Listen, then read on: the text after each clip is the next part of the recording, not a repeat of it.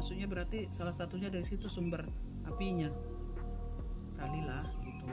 Namanya kali-kalian coba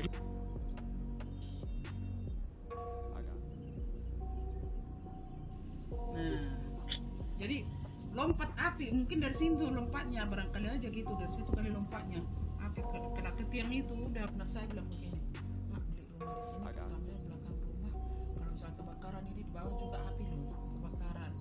saya. iya iya iya iya Nah terus ya Tuhan Maha tahu pas diselamatkan. Eh ntar malam jam 8 lebih kebakaran. Gitu. Makanya aku bilang aku belum naik ke rumah. Aku bilang ternyata sampai ininya pun tuh plastiknya pun udah hampir kebakar. Tapi rumah kami ini tadi memang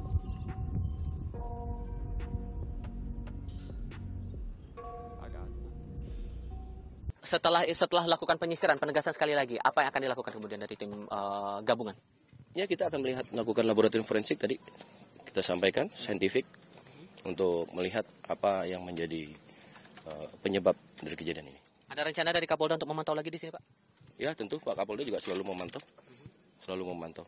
Kalau Di tadi pen- sudah dengan bersama-sama Pangdam, dengan PJ Gubernur, ya, bahkan Bapak Kapolri juga memberikan atensi, ya, dan ini menjadi perhatian kita bersama. ada arahan khusus mungkin Pak dari Kapolda soal proses pengusutan kasus ini? Ya tentu kita akan lakukan pendalaman.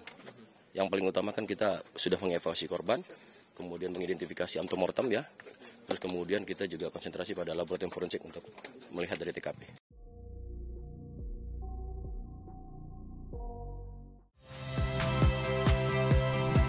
Saya Yasir Neneama. Saksikan program-program Kompas TV melalui siaran digital, pay TV, dan media streaming lainnya.